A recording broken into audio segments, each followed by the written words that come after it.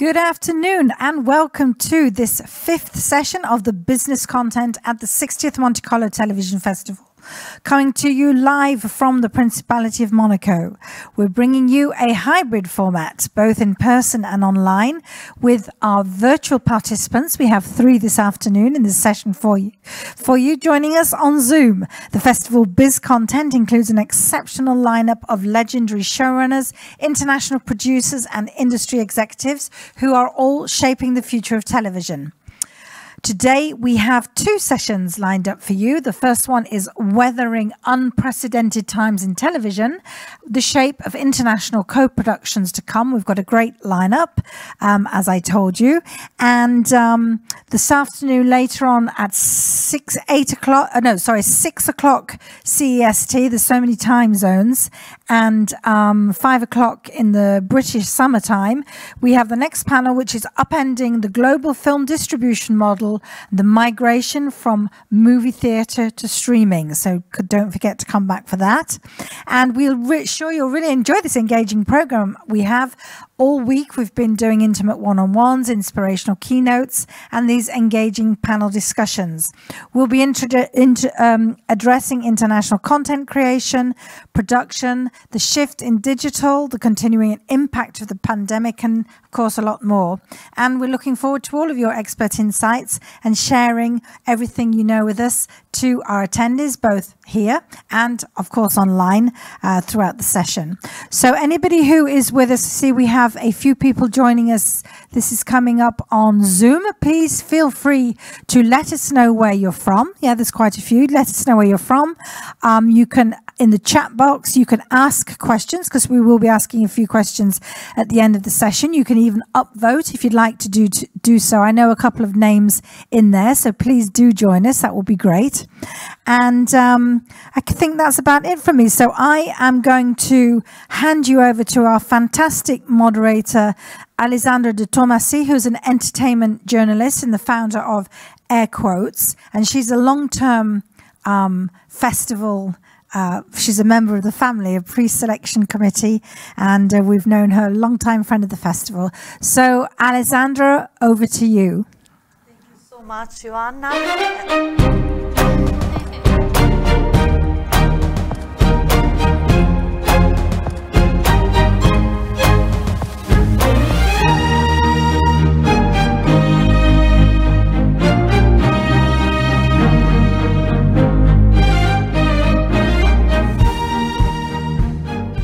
Afternoon, everybody. I'm Alessandra Tommasi. I have the pleasure to introduce you this amazing guest this afternoon. Next to me, we have Teresa Fernandez Valdes, executive producer and co-founder of Bambu Coproducciones. Next to her, we have Moritz Polter, producer of the newborn Windlight Pictures with ITV Studios. Welcome. And joining us via Zoom, we have Frank Spotnitz, CEO and executive producer of Big Light Produ Production, Productions, sorry, and Vance Van Petten, Van Petten, hi, former national executive director and COO of Producers Guild of America, welcome. And last but not least, Grant Kessman, global TV agent of Creative Artists Agency. Welcome everyone, hi. Uh I would like to start with all of you asking how, in your opinion, has changed the landscape of international productions. I mean, how is this different from the past in your own experience? We, may we start here? Oh, I can. I can start. I'm happy to start. Well, I think that Thanks. that obviously. Um, one thing that has drastically changed is that it's far easier nowadays to have access to programs from all over the world and to see what uh, what comes out of individual countries that we were otherwise not able to do, um, especially because of the um, Netflix and Amazons of the world that are um, not just producing there but also buying up program that is then becoming very accessible for for each one of us, and I think that is. Um, you know, a great trend because it, uh, I think, brings the world closer together. Um, but it also means that um, you know we get more influenced by others, other people's work, and uh, that's fantastic and interesting. let's talking about other people's job. You have worked together with one of other panelists via Zoom, Frank Spotnitz. You have been together for uh, crossing lines. Yes. So you, you have joined forces before this panel. Hi, Frank. Would you like to add something to that? Yeah, no, I completely agree with Moritz. Moritz said there, there's more ways to uh, create programming and to view programming from all over the world than there have ever been. Uh, there's more competition than there's ever been, and so I think it's it's the audience has been sliced into a million different little slices, and there's something for everyone. And actually, the challenge now, I think, is being found. Is is just because there's so much choice, making yourself stand out from the crowd is is uh, is is the the difficulty. But it's a it's a very welcome one. You know, it's a it's a good problem to have. And I, am sure that Teresa agree with that. Yes, for sure. It's, I think it's, it's, it's a very, very nice moment for our industry. Um, imagine also that now we are all at home you cannot move off for the last year so i think um, it was like the moment to find as as as our colleague suggests is to find you because there's more movement than before. I know that it's very, very clear now that the big bet is the TV or the series, uh, and you can you can find content everywhere and coming from everywhere. Uh, so the the strong thing is to, to have a call, of course, to to to take the light that you need yeah. in order to present your content. But the people is looking for more than before. So I think now the, the, the, the, the, the difficulty comes because you are going to compete with big budgets, maybe coming yeah. from US or big markets, and maybe in my case, I'm coming from Spain, and of course, we have now the big, big names and the big platforms also in our country. But it's true that it's very difficult for me to compete with Games of Thrones or something yeah. like that. These strong brands coming also for, from Marvel or this kind of show. So uh, I think that the key here is to find where you can be strong or where you can be different and not try to be uh, like the others are because yeah. trying to compete in the same way is going to be so difficult to get uh, success of course i assume that all the audience know very well who you are but maybe since we are talking about the competition teresa and also all our uh, panelists can say a few words about your work because it was, it's been remarkable on spain but internationally also if I'm if you can share with us a few words about your own experience, your own company. Uh, yeah, for sure. Um, uh, we are producing right now different shows for different uh, platforms. For Amazon, we're doing now a show uh, with Aura Garrido and Jean Reno. This is a good example how we can bring one talent coming from outside to our country. Jean Reno came to Spain to shoot this series, and maybe next year we're going to launch that show. But also Apple, uh, they were looking for shows in Spanish, and they came to Spain to to ask for a new show, and we are producing right now a show for them. The name is Now and Then, and we're doing it uh, between Madrid and Miami also this new opportunity give us the time that we're living now because before it was impossible yeah. to imagine that we can do a big big show between Spain and, and, and Miami in that case we had a mix of cultures there because yeah. uh, we're telling a story about different people in the university and we have Colombian people Spanish people American people working together so this is a good example about and it's not the first one because you have been you have set a record before before because your company has done the first Netflix original yeah. Spanish show and it's an international globally success. Yeah. Las chicas del del cable. Cablos? Yeah, del cable. Del cable. Yes, uh, our company uh, produced for the local TV in Spain two two titles that traveled very well before to have the experience with Netflix. They were.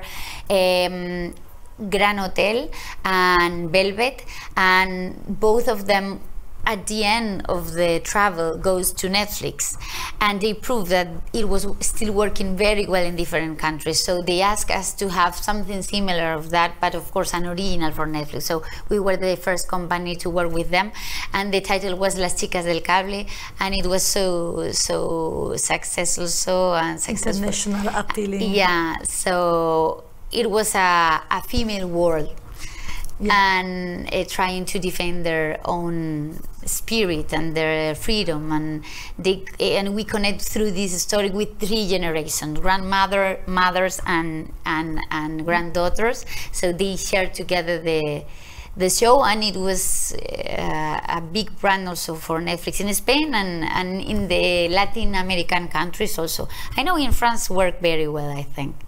They are nodding here in the room, so I'm, I'm sure it is.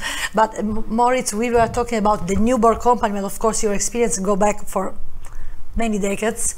So can you share decades with us already? Some? yeah, uh, no, you are right. In a good way. Yeah, yeah, no, you're very right. Well, but, um, I that. mean, uh, for me, the last uh, the last five years, I mean, before I worked with Frank, uh, after after I had worked with Frank, I uh, I, I um, started at Bavaria Fiction, where I was for mm -hmm. the last uh, five and a half years, and and there I built their international slate. Um, they hadn't done international shows for a while, and mm -hmm. they hired me to to build up the slate there, and so.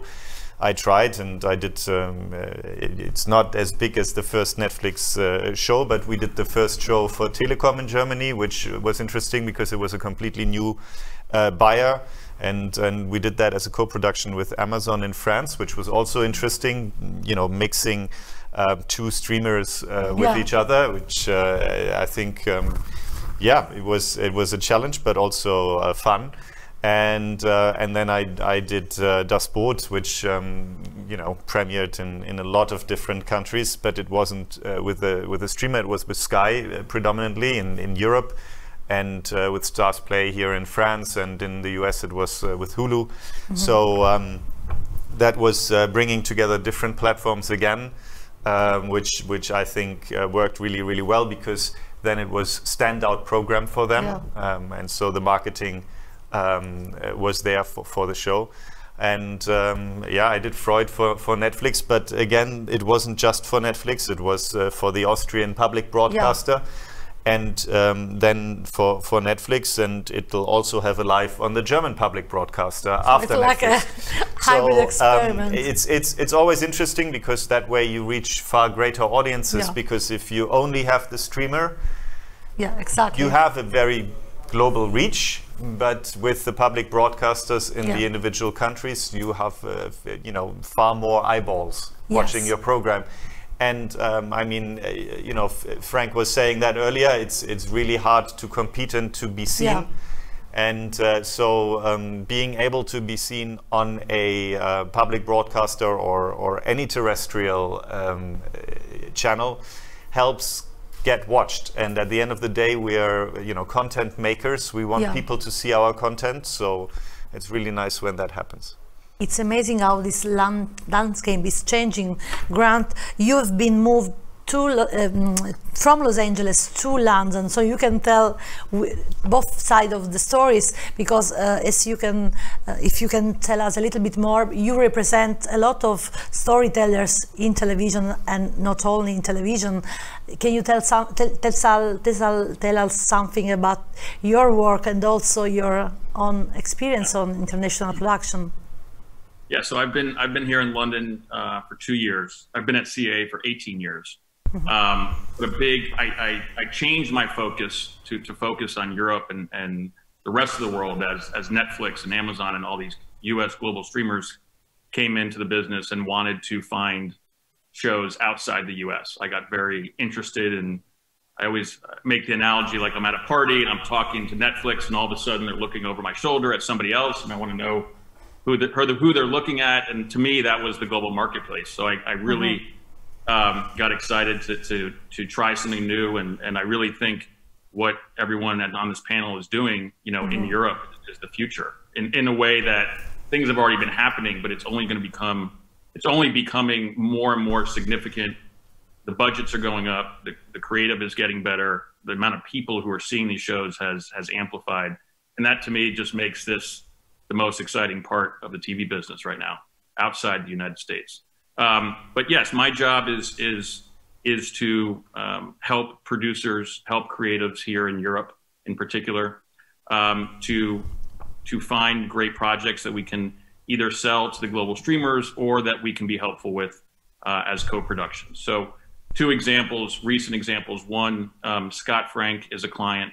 He came to us with Tom Fontana. They have a script called Monsieur Spade, which is based on um, the character Sam Spade, most famously played by Humphrey Bogart in um, in the Maltese Falcon. So they came to us and said, "Hey, we we have a script. It's 20 years after the Maltese Falcon. It's set in the south of France. We want to we want to make this as authentically French as possible, even though there's a, a main character who's American. What can we do?" And and so we brought the project to uh, Oeicor in France, who have been phenomenal. Um, and we're currently out to the marketplace. We, we have recently attached Clive Owen to star as Sam Spade. Um, and it's an amazing project that's going to be, you know, both in English and in French that, that Tom and Scott are super excited by. And that, you know, it's, it's, to me, it's, it's the future of like, hey, we're not, we're not only helping people and producers in their territory, but we're also bringing in IP that's getting noticed. Cause I think mm-hmm. it's come up a couple times of, hey, there's so much content. How do you stand out? And a big part of what we're doing is to help supply either intellectual property, actors, high end talent, high end directors to projects. So they're not only elevated in the minds of, of the buyers, but also for the audiences as well. There's that familiarity to having Clive Owen in the show. Yeah. Where I'm working on another project with Gerard Butler um, that we've taken to the UK market and attached our client Howard Overman and his company Urban Myth Films to um, based on a huge film franchise um, that Gerard stars in called the, we, we call it the Has Fallen film franchise. So you have London Has Fallen, Olympus Has Fallen, Angel Has Fallen. These are really, really, I mean, the, as a cume, I think they've made over half a billion dollars at the worldwide box office. So, and there's a desire to do a TV show that kind of complements the movies. So we're in the middle of that, and we're we're in negotiations with a global streamer on that. So just kind of my job is just kind of to be that bridge to help mm-hmm. to help producers here and creatives here um, either get attention and, and find great projects that we can bring to the global streamers, or again figure out ways where we can put the pieces together on a on a co-production that will really make an impact. Speaking of co-productions and international productions that has made and are making an impact globally speaking, Frank Spotnitz can add absolutely a lot of experience on the topic. I know that you don't need any introduction, but if you will be kind enough to share with us some of your uh, projects and also your your idea about this, to this topic on conversation. Yeah, I mean, I came, believe it or not, I came to Europe 11 years ago, and it was a completely different world 11 years ago. Um, and I decided to stay, and so I started my company, Big Light, eight years ago, just in time for the first wave of co-productions, like Crossing Lines, one of the shows that Moritz and I did together. Um, and it's it's unrecognizable now the state of, of uh, television in Europe versus 11 years ago, and much much better. There's much more diversity, much more opportunity. Um, I think um, what's been interesting to me is first of all realizing the best kinds of international shows are actually local shows. You know, so that's what I was saying. Well, I learned from Crossing Lines, which was a really hard show to do because it was sort of the old fashioned way of trying to assemble pieces from all the different territories in order to sell it in all the territories. And it's hard to make that kind of show feel like it belongs to anybody. It feels like it's kind of belongs to everybody and therefore it doesn't belong to anybody in particular.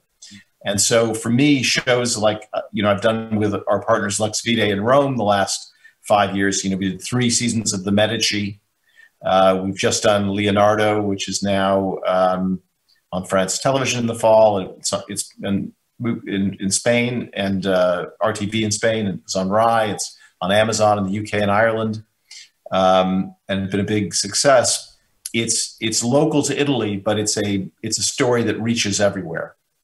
Um, and that feels like creatively, it's much easier to sink your teeth into that kind of approach for these big, big international shows um, it was also interesting, and I should just touch upon is is the way of working. which I think, you know, when I came to the UK and, and what Big Light has done is we've used writers' rooms as well as individual authored pieces.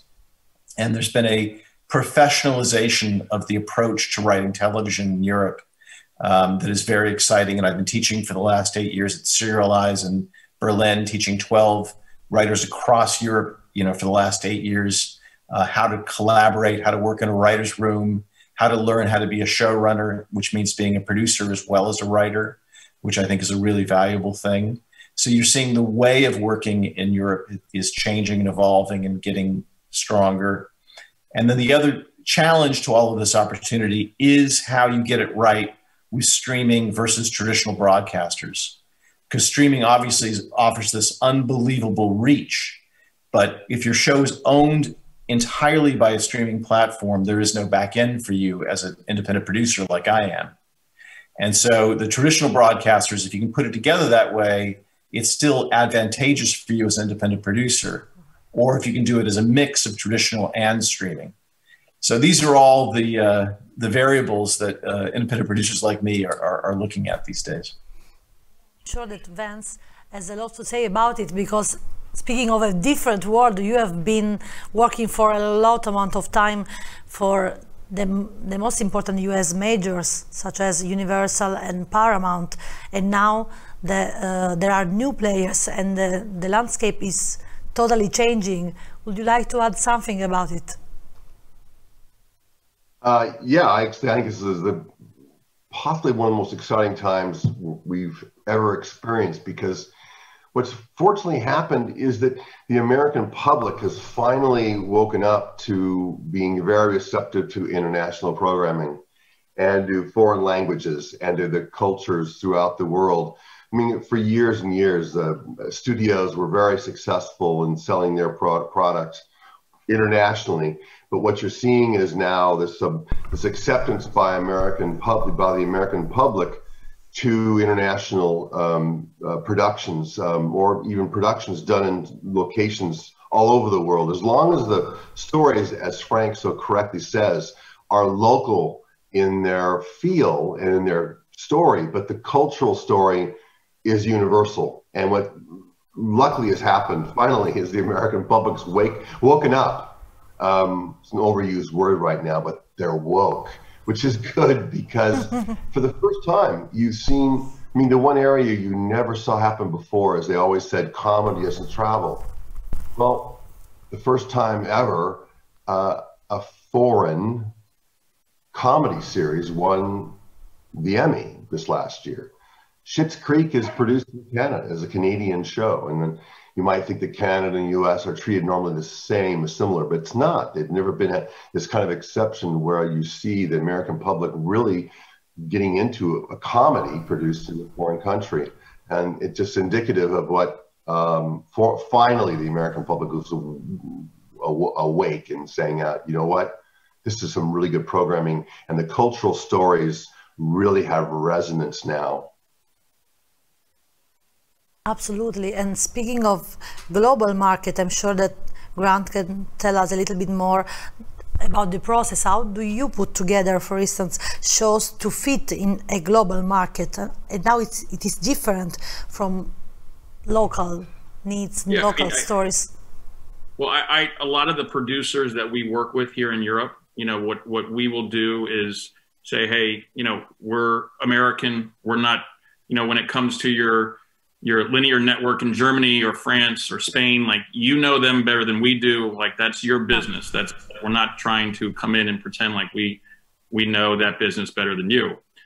Um, but what we do say is, hey, when it comes to the U.S. global streamers who are in territory, who have come to to to buy product and buy projects from you, um, you know, we push our clients and even non-clients to what what are the you know what are the projects female led stories are very obviously significant and, and um, important to global streamers. Diverse stories, things based on IP, um, contemporary stories. Like I, there's just such there's just such a desire because I think there's so much happening in culture right now we're experiencing together that that that a lot of the global streamers want content that reflects what's happening a story that's happening currently in that country that would resonate with current issues in that country Um, and lastly, I think there's just, you know, in order to stand out, I think a lot of these global streamers are looking for projects that have real attitude towards them. So, you know, they're not, you know, they're going to buy a contemporary love story or a contemporary detective story, but how is it going to be different than something you're going to see on TF1 or ProSieben or any other local network? So that's, to me, the word attitude attitude and authenticity, I think, are very important when selling to global streamers. So, us when when working with with producers and being that strategic consultant that that we are here in in in, in Europe, um, it's a combination of that for the local market as well as you know, is there a project that goes beyond beyond your borders, and that's where the co-production aspect comes in as well. How are how can we help find other networks, not just in Europe, but but specifically in the U.S., who might come on board and, and be and find a, a even if it is in German or if it's mostly in German or half in German, how can we how can we use our resources, our access, um, and our knowledge, you know, not just on what people want, but also on deals to help make the creative and the business side better for producers. That's that's that's a big focus for us here same kind of contemporary stories that we are talking about with Teresa because you are producing this kind of story and they are sold worldwide. And in your opinion, what's the biggest challenge of join forces and organize producers from different countries because you supervise also some producers and put together the energies of them? Um, it's more my experience comes more like uh, following our different series when we are when we are uh, shooting in Spain, but also outside, so abroad. Sometimes we now I think that the, the market is growing and you have more opportunities to have more ambitious shows. So uh, you can imagine now that you're going to shoot not just in Madrid or just in the north of Spain. You can travel. So now uh, we're shooting, for example, in, in Miami uh, or before in Panama. And uh, when we do that kind of things, of course, you, you need to supervise everything. How is your show in Spain? How is your show outside?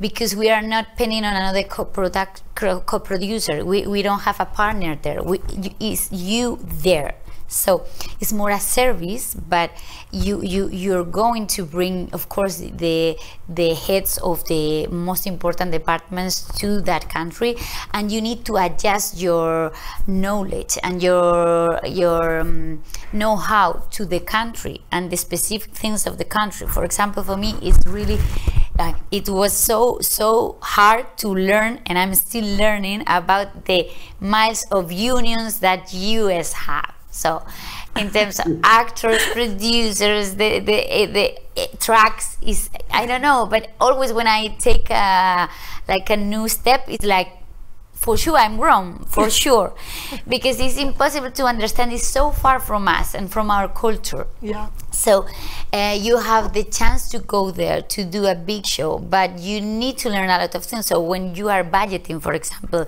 one show, you are budgeting under your experience. Maybe you're going to check with some people different things, but it's like in the second minute you are eh, you you you are fault. It's it's it's, it's, it's is the industry is is different now and and you have new opportunities but you need to adjust and to learn and to and to lead and drive because always when you are the producer and the showrunner the people is looking at you is staring at you is you have the solution you are the red phone so you you, you need to control and manage that. So we are learning on the time all the time. So it's to supervise that kind of things is very important because sometimes you send your your team there.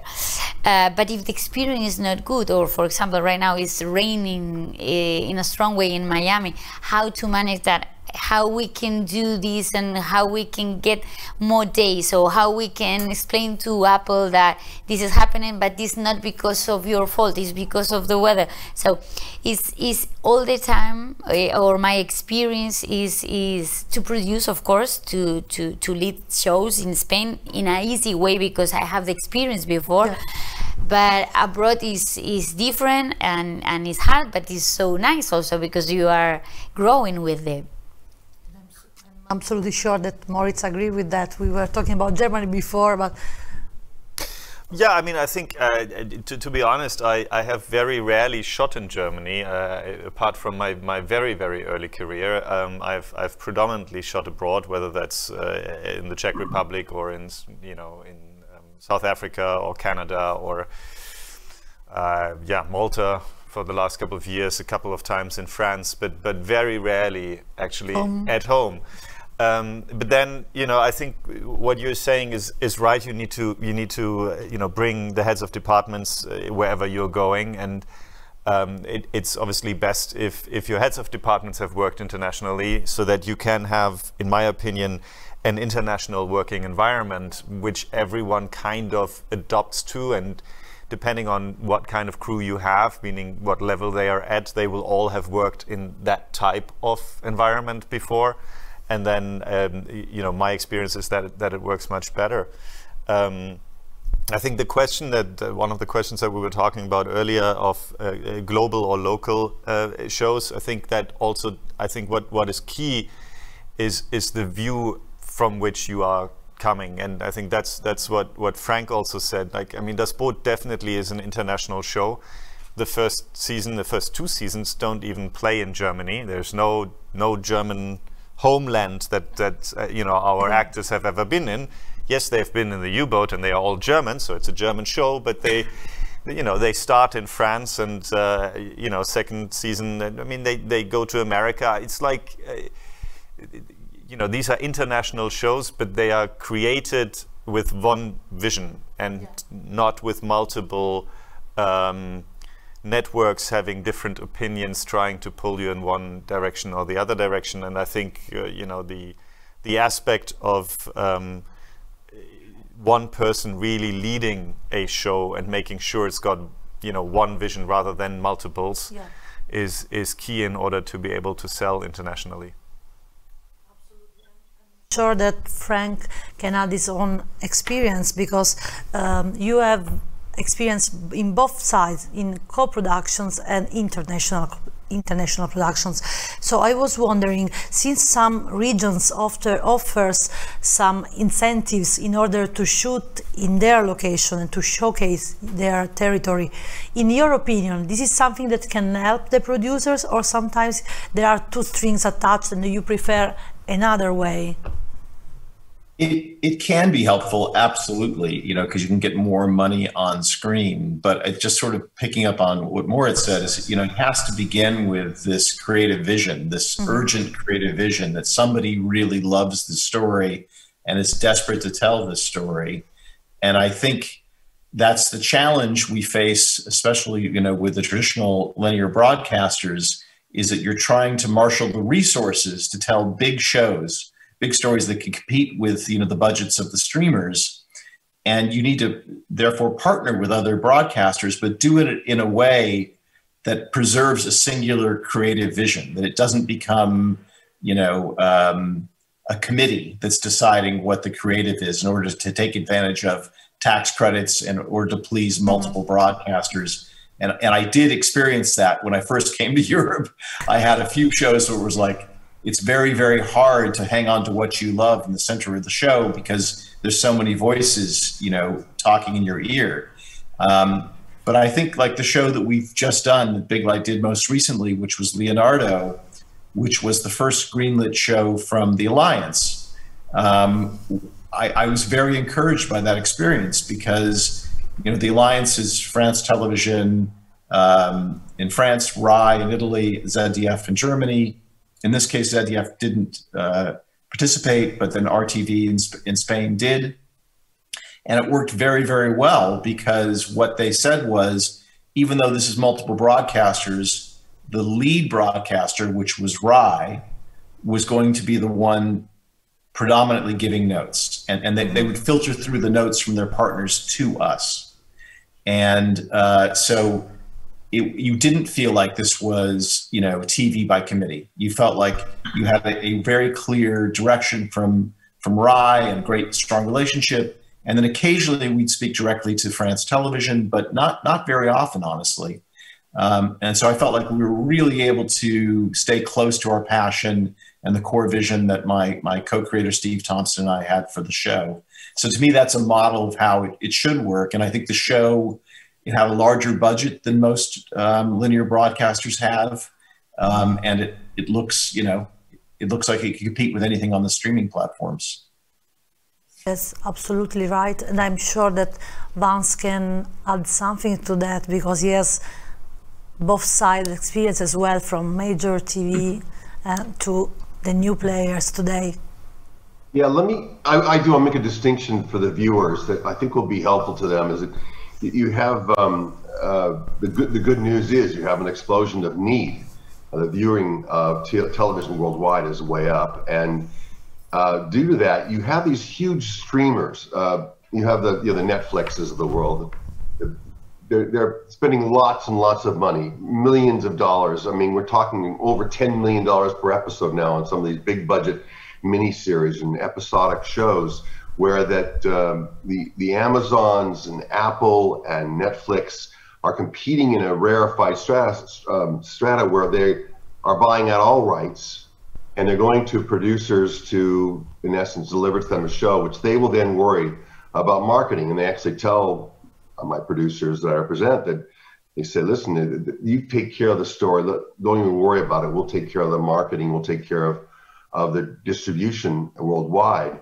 Um, but the, the distinction is there's also then, there's a lot, a whole host of extremely competitive broadcasters like Frank was mentioning, ZDF, and, and you have uh, German broadcasters and um, in English broadcasters and in France paying a lot of money, millions of dollars per episode, for only distinctive rights regarding their particular territories, allowing the producer then to sell off and to sell the product in other territories, including the US. Um, and there's U.S. also streamers that are of a smaller reach, the Starz of the world, Epix, uh, very good buyers who want those original content um, productions, which they can buy and uh, hopefully buy because another country has come up with the, either a broadcaster or another service has come up with the, the, the necessary money to produce this big story. So it's it's put together as more of like uh, Frank was mentioning, more of the international co-production format uh, by piecing the, together the different territories, which enables the producer to make a lot more money typically than they can for just supplying the product to a Netflix or to another um, a big mm-hmm. big streamer that's paying a license fee for worldwide rights.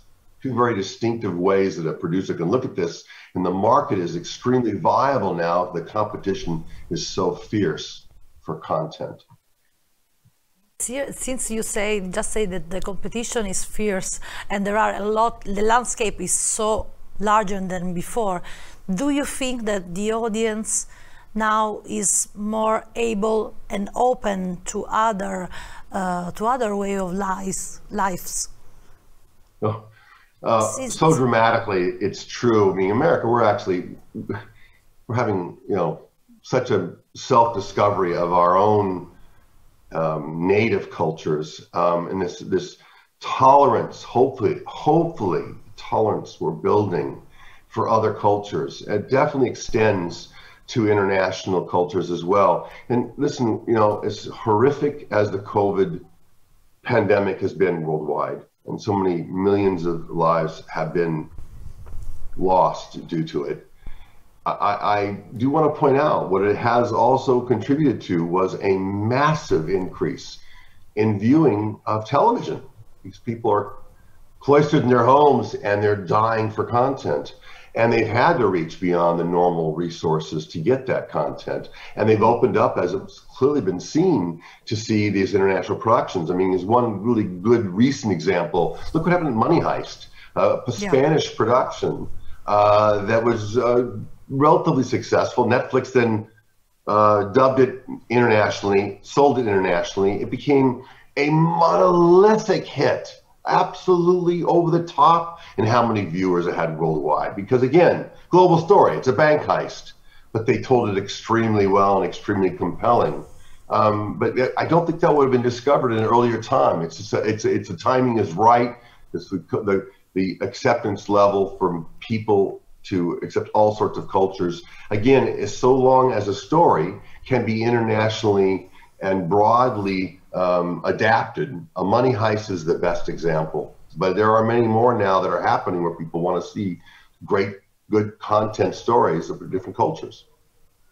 And even period dramas like the ones that Frank produces, like I Medici or Leonardo, we can see a, a mm, period story, but yet it's so modern, so refreshing, so relevant, not judgmental of any kind of uh, race, languages. And I mean, eh, it's so um, uh, embracing the diversity of today's. What do you think, Frank? Is yeah, and I have to say, you know, I had never done a period show before uh, Medici, unless you count Man in the High Castle, which I don't really. And um, it's always hard. It's always hard getting people to buy into period shows. The first thing they say is, we don't want it.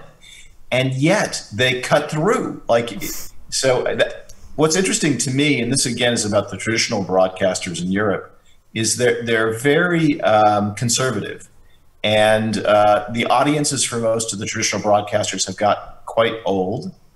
And I think, you know, what I'm hoping is going to happen, and I think we are starting to see it happen, is because of the pressure from the streamers, the traditional broadcasters are having to take more chances and uh, creatively be a little more daring and find things that um, not just speak to their traditional audience, but engage a younger audience as well.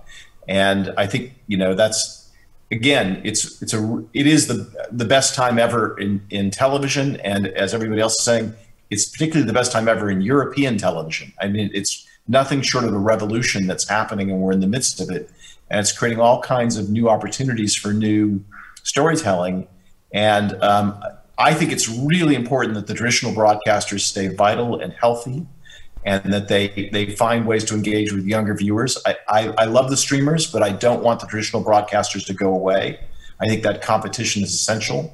Mm-hmm. And so um, I hope that the success of shows like Medici and Leonardo um, it continues to encourage traditional broadcasters to take more chances and to um, do shows that reach younger audiences, which both of those series um, did you know, you're so correct, and it's such a great opportunity to tell you to say that what there's never been a better time and more important role for the Monte Carlo TV Festival to play than right now. In this time when we we're seeing such an explosion of international uh, productions and uh, the acceptance worldwide of international programming and the, the, dominance now of European co-productions. So uh, the, the festival is in the best place it's I think it ever be. Absolutely. On the other end, there are other period dramas like Cable Girls or Freud. They still are appealing to younger audience as well because they are modern and fresh. The look is in the, in the period drama, but yet the uh, the message is very universal, very relevant, not judgmental at all, and very fresh. So. Uh, yeah, I think I mean you know you were you were saying that Frank, and and and I mean you know, without the public broadcasters, we wouldn't have done Freud. You know, yeah. we the, the, first one on board was ORF, you know, public broadcaster, uh, to do Freud with us. And uh, uh, yes, it is very successful for Netflix, but um, you know, it was uh, money from from two public broadcasters, meaning um, ORF and ZDF, and Netflix uh, to make it happen. And you know, we, we talked to Netflix um, whether whether we wanted to make this uh, a Netflix original, and we would have been uh, absolutely up for that as well. But um,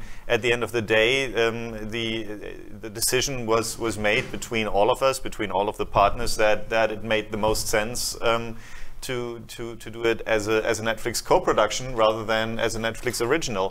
Mm-hmm. And um, you know, you were saying earlier that's the best way uh, to do it for, for the producers. Absolutely, because the you know the first territory that gets sold afterwards is already uh, you know money coming in rather than mm-hmm. money paying for the budget. So so we are mm-hmm. absolutely happy with that as well. Um, uh, you know the, the our, our partners at Satel and, and and us. But but it's also interesting that again a public broadcast show you know, was one that Netflix wanted to partner on, just like they have done so many times. I mean, um, you know, you look at the big uh, shows that, that are on Netflix, they, they are either done with uh, British public broadcasters or Spanish yeah. public broadcasters or German public broadcasters. The public broadcasters still have uh, you know, their fingers on the pulse of their home territories uh, in a way that, that Netflix doesn't yet. Um, I mean, obviously they are building their, their local teams, yeah. you know, they, they are hiring public broadcaster editorials to come and work for them, in addition to other ones, obviously. Yes. But um, it, you know, it's it's still they are still there and they are still relevant. And I think that um, you know it would be a great shame if if uh, you know they were to go away because I think it's good to to have a you know a challenging a, a time where where Netflix or Amazon gets challenged by the different public broadcasters of Europe. I think that's you know it's it's important because it it is what changed the landscape. Now the, the, the productions of the individual countries are becoming better and better because yeah. there is more competition for talent. And so talent can develop better and we have more money and we can we can tell better stories. As you say, Netflix, for instance, is relying on local productions that does international show like Bambu that has produced the the first Spanish show. It was a period show. Yeah, that's exactly. Yeah, yeah. And again, it's a period show. Yeah, but Still it was a special case me because, as I mentioned before, we had two titles. We had Gran Hotel and Velvet, and both of them were huge internationally, and both of them were period shows. So when Netflix came to Spain, they asked for something like that. It's true that Bambu built eh, eh, eh, the company with that base. We we we produce a strong romance in period time. So we're still doing that. Now the show that we're producing for Amazon is not their first show in Spain, but mm-hmm. is our first show for them. For them, yeah. It's again period. Is 1948 it's a couple of, of it's like Sherlock and Watson, but okay. it's, it's like a younger with his butler with her butler, and they're going to to investigate one crime, and it's 1948. So. Um, we have a different experience in Spain. It's true that when we were trying to go, for example, Apple or something like that, they, it's like more American spirit. They ask for contemporary stories. Yeah. But in Spain, we have strong success uh, doing and producing period. And in in our case, a special case, Bambu Producciones have like that brand about period and romance stories. So for us, it's easier than for others to sell that kind of stories. Because yet they are universal. They feel they feel modern. Yeah, girls. I mean, we, can uh, be a girl of yeah, today. Yeah, but this is this is like the point. Is how you assume that period show is. Yeah. Because uh, uh, before with the public channel in Spain, when you take a story from the past, you must do like a portrait, a, a very well document uh, documented you know mm. sorry it's like with a strong identity and, yeah. and connected with the past in a real way yeah. and now um, something that we're living with the with the with the networks or with with amazon with the platforms or with with netflix more than all uh, they always um, want to be far from uh, voices that are not yeah act, uh, contemporary. For example, the reaction about um, uh, uh, the the um, one homosexual relations mm-hmm. Uh, or, or, or is, is, something about one voice about one woman who is like hiding because yeah. of her husband is how you tell that story is you cannot give like the the things that we consider now that is not is is not it's not good to tell like yeah. there's this opportunity they don't want to to tell it's like avoid voices that don't give us contemporary and that avoid the voices that cannot be close to the young people yeah. or the free people or the freedom mind they, they they provoke that you choose the story that can be contemporary but in the context of the past. You know. It's yeah, like the LBGT yes, that you put on so Cable strong. Girls and Cable Girls. It, for example, in Cable Girls, we have that experience. Two girls fall in love with the other, and we said in Spain in the twenties, yeah. we can imagine that all not all the people are going to approve this situation, and they say, okay, I don't want to tell the story about that people. Yeah. I want to tell the story about the people who push them to be together.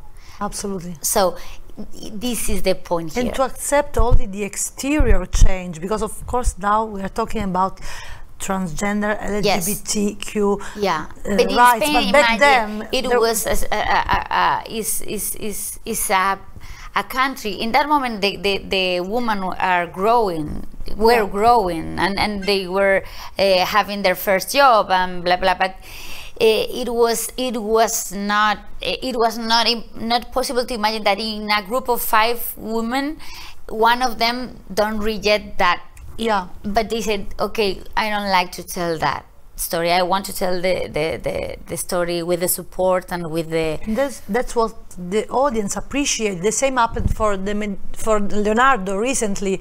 There was a huge conversational conversation, sorry, international about the uh, Leonardo sexuality and how it was approached with a very sensitive, modern, delicate way, and yet it was relevant the way you portrayed. Yes, and that's the thing, this prejudice against period shows that I find infuriating because Europe obviously is so rich in history and there's so many amazing stories, and it is the culture here.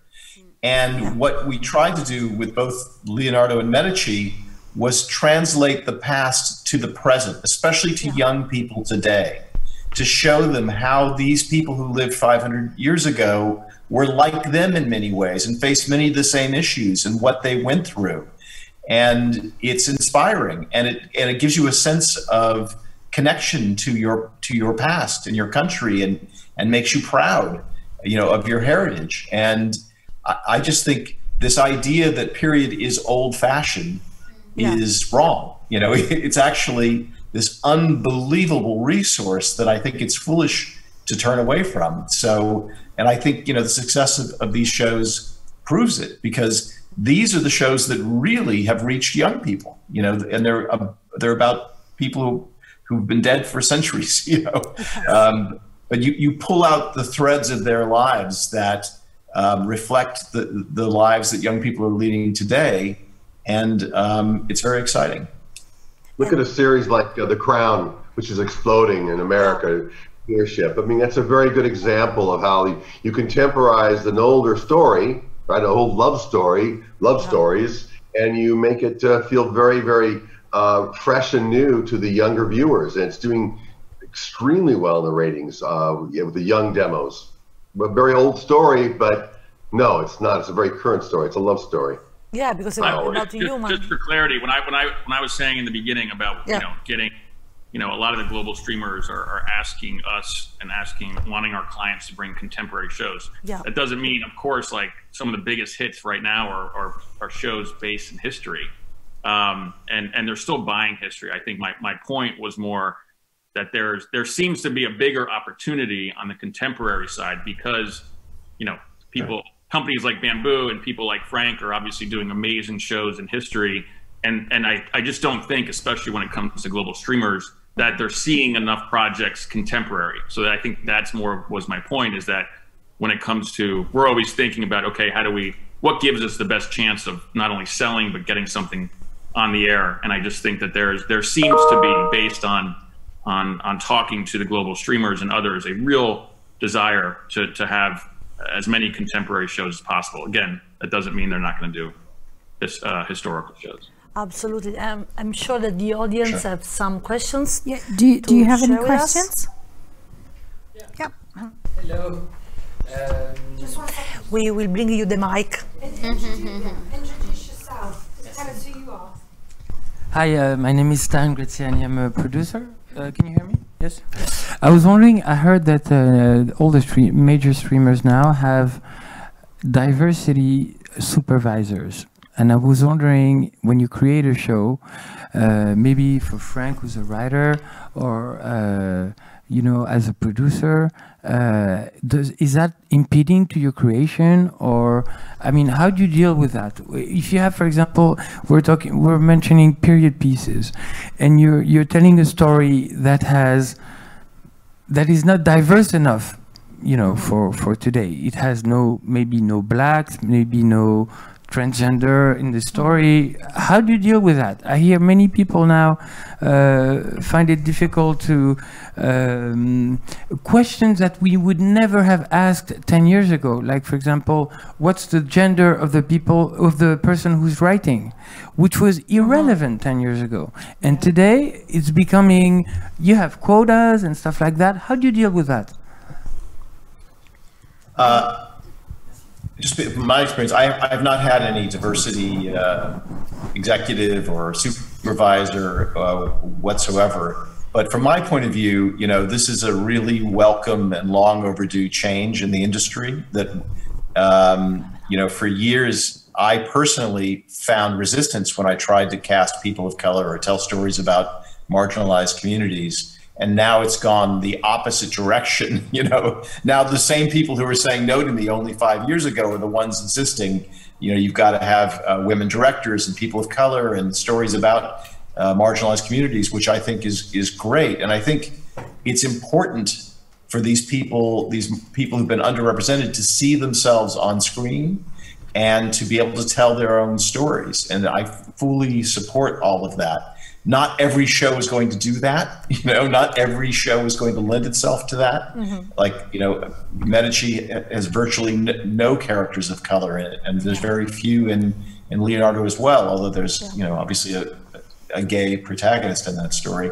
Um, but I think you see shows like, you know, Bridgerton or Spanish Princess that are being very imaginative uh, you know, just like Hamilton was on Broadway. You know, mm-hmm. they're finding ways to reinvent history from a multicultural point of view. I don't think that's going to be every show. I don't think it should be every show, but I think it's fabulous that that's part of the the mix. Um, I think you know this is a, a period of change we're going through right now, and it's um, it's opening up opportunities, and it's going to have a positive influence on all the young people who are watching TV now to see these stories and see themselves represented. And I think we all, you know, we're, we're finding, we're still finding the best way to support this, but I think we should all be supporting it. Totally agree with you, Frank. Well said. I think I think what you said that we should support it is, is definitely right, and and finding the best way is I think still something that is slightly unclear, and I think it's unclear to a lot of us. I think that you know, a, um, a movement that says gay characters should be played by gay actors is, is interesting, but what does that mean? Does that mean that anyone who doesn't want to reveal their sexuality can't be chosen for such a part, even if we know um, privately that they might be gay? We can't use them because then we would mm -hmm. make it public that they are.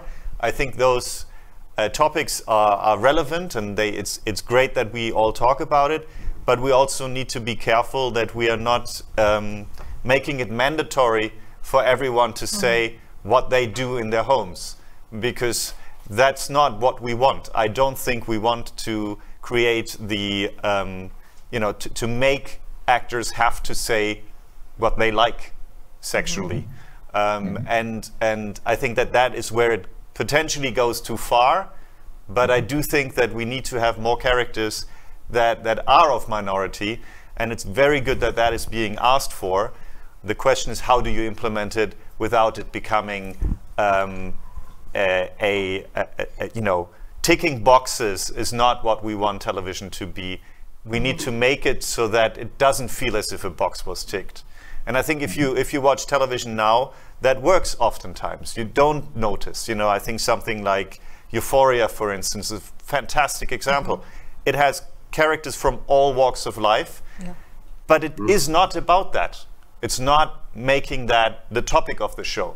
And so it works really well. I think Mare of Easttown, if you if you look yeah. at that, multicultural, you know, you've got all sorts of, of, of characters. The, the, the, you know, the daughter is lesbian, No one ever talks about her being lesbian. Why should they? She's lesbian. She's not strange.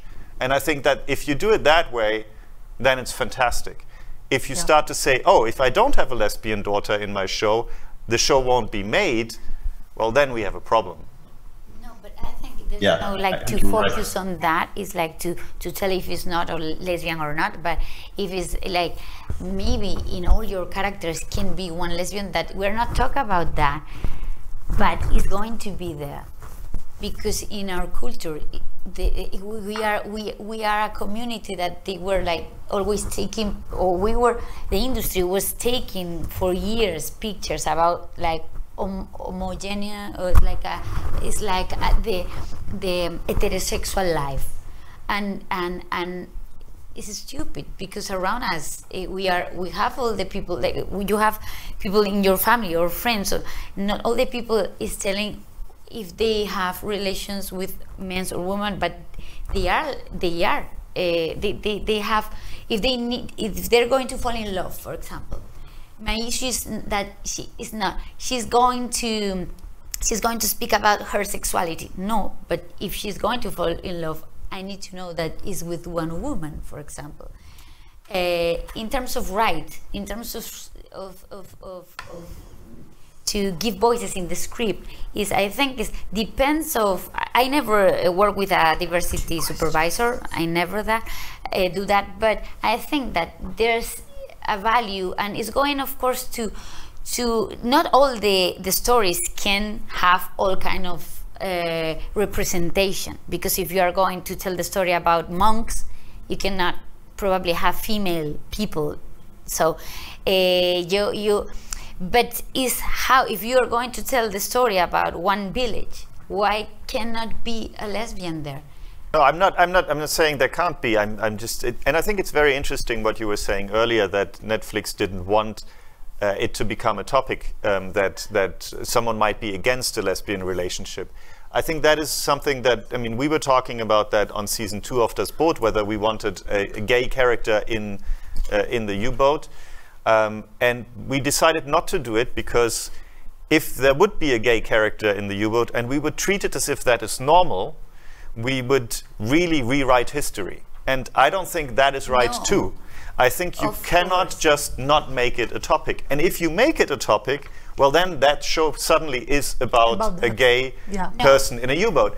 Sure. And you have to be very careful with these things. We talked about it very, very long with the network. The network was really open to doing it, but at the end of the day, we decided no, it's it's just going to be much too big a, a, topic, mm -hmm. and we can't really tell the story no, anymore that we want to sure. tell. So you know we cannot force this we can't force it we no, can't no. force it and but they're going to greenlight the shows that they Mm-hmm. Uh, want to push or not to that kind of thing. So if they said, I need a show, sometimes we receive these kind of things. I need a show with a strong identity in that or in mm-hmm. that. Or right now, I'm really focusing to find the story who tells something about this kind of problems or this kind of, uh, uh, I don't know, it's, uh, little things that nobody tells but of course, when you green light or when you have the Medici or when you, it, the, the story is going to tell you what you can tell or not, and the way and the tone is something that you can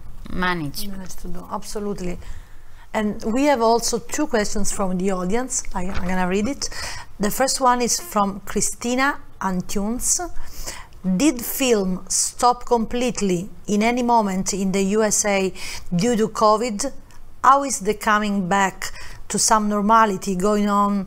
And is there any publication we can read about it? To our US panelists. Well, filming did not stop. Um, it, it certainly was slowed down tremendously, but producers are extremely the most inventive people in the world and found ways to to produce. Um, movies during COVID, uh, isolated. I mean, there's many good examples. They've either picked out stories that were able to be produced that way, um, or they went to environments where it was um, was safe, was made safe either by uh, safety protocols, or they went to certain countries where their protocols were already in, in existence. Um, uh, so it, didn't stop. That's that's the answer. Uh, I would recommend um, that there are some places you can go. Uh, even to the Producers Guild of America, we have some very vibrant uh, protocols, safety protocols, a white paper that we've published. But there are many other places as well where they, they talk about what it, it, takes to make a production um, COVID safe, uh, which what practices be followed. Um, but as we're coming out of it now and the um, vaccinations are becoming more predominant, um, there really is uh, an explosion of more production absolutely happening now because of that and the need for more programming. We, we had to shut down Leonardo last March because of COVID uh, in, in Rome. And then uh, we had to sort of do some rewrites and, and change our production schedule. And then we were able to resume, thank goodness, in June of last year. And we finished uh, without interruption in August. Um, so it, it's it's just as as he's saying, as Vance is saying, is there are ways around it. Um, and and I'm shooting another show currently in Rome and London um, that that has had no shutdowns, even though I falsely positive. I tested falsely positive for COVID and scared the hell out of me. Um, so um, yeah, we're able to move forward again. Thank goodness. And we have another question from Tina Bianchi via Zoom. She asked, Do you think the business model of the streamers could have shortened the lifespan of a product? Once in the library, a product doesn't have any platform to go to? Net, I can jump in here. I mean, Netflix in particular has been upfront about thinking that that that shows like the the, the prime number of seasons for good shows is three. So I think they've they've been open to the fact that once a lot of their shows, once they reach a certain season, it becomes a little bit more diminishing returns to keep them going. Now, if you have a show that's a cultural hit and is at yeah. one of those, you know, top top levels, they're of course going to keep um, the series going as long as possible. But but most shows are not. Most shows are not yeah. at the very top, um, and there are a lot of really good shows that I think yeah, unfortunately, Netflix. I think it's it's after about season two or season 3 mm-hmm. it definitely becomes less of a priority for them to to keep these shows going. Unfortunately. I think that is. I think that's something that you know it, it it's becoming more and more um, relevant for producers that that is their business model. That even if they are still successful with uh, season three, that they won't commission season four. Um, and and I think that that's something that that people will start to look into when they have IP that they can take elsewhere. um, because at the end of the day, um, longevity is, is something that, that we're all going for because uh, the, the amount of money and energy that goes into creating new shows yeah. is tremendous. And, um, and, it's, and obviously, it's also a question of return on investment because all the shows that you develop that never get made need to be amortized by those shows that have a very long lifespan. And if the lifespan is cut short from the start with, you know, platforms, then either they have to pay more from the start yeah. in order to amortize the amount of money that That's producers okay. have to put in to develop, or there has to be other ways uh, of, of, of you know re remuneration because it, it doesn't work um, otherwise it's an interesting it's an interesting dilemma, and it it also starts to raise the question of what is a TV series, and cool. you know you. We, we're sort of still operating in the old model, the old broadcast model in a streaming environment. And I think we're going to start to see, you know, the definition of what a TV series already, you know, it's going to start to blur between that and movie storytelling. And I think we're going to see new formats, you know, things that are designed to have a certain lifespan. Uh, but it's a separate issue how that impacts upon the economics of independent producers like you know Moritz and, and, and Big Light. It's like you know we count on shows that return uh, to make it economically viable to to operate, and um, it's that's a challenge if, if the streaming platforms only want to show for three or four years, you know, in success. Would you like to add something? No, no, I think. Okay. So if I don't know if there are any other questions from the audience, otherwise we we can thank all these amazing panelists today. So once again, thank you, Teresa Fernandez Valdes, Moritz Polter, Frank Spotnitz, Vance Van Petten and Grant Kessman. Thank you so much for being here at the Monte Carlo TV Festival, virtually and in person. And thank you so much for this great conversation. Thank you very Thank you. much. Thank you. You were there. Thanks. Thank you. Thank you, and thank you to Alessandra, and that was great, and for managing that so well, because we have Vance in, uh, you're in LA, um, Frank in Paris, and Grant in London, and then we have Teresa from Madrid, but with us in Monte Carlo, and we have Moritz from Munich. Munich, but in Monte Carlo. And Can you believe Teresa is a very international panel from it's from Rome in Italy. so thank you for joining us. Um, great panel, really insightful, very exciting, and we hope to see our. It lovely to see people on in the, the Zoom asking questions as well. And uh, thank you for coming to us live in person. And we'll see you back. We hope at six o'clock. CST. That's uh, still very early for you, Vance. Nine nine a.m. Yeah. and that will be the migration from movie theatre to streaming. And we've got a great panel lined up there. So thank you guys. Thank you all, and we'll see you soon. Thank you. Bye. Thank you. Bye. Bye. Bye. Bye.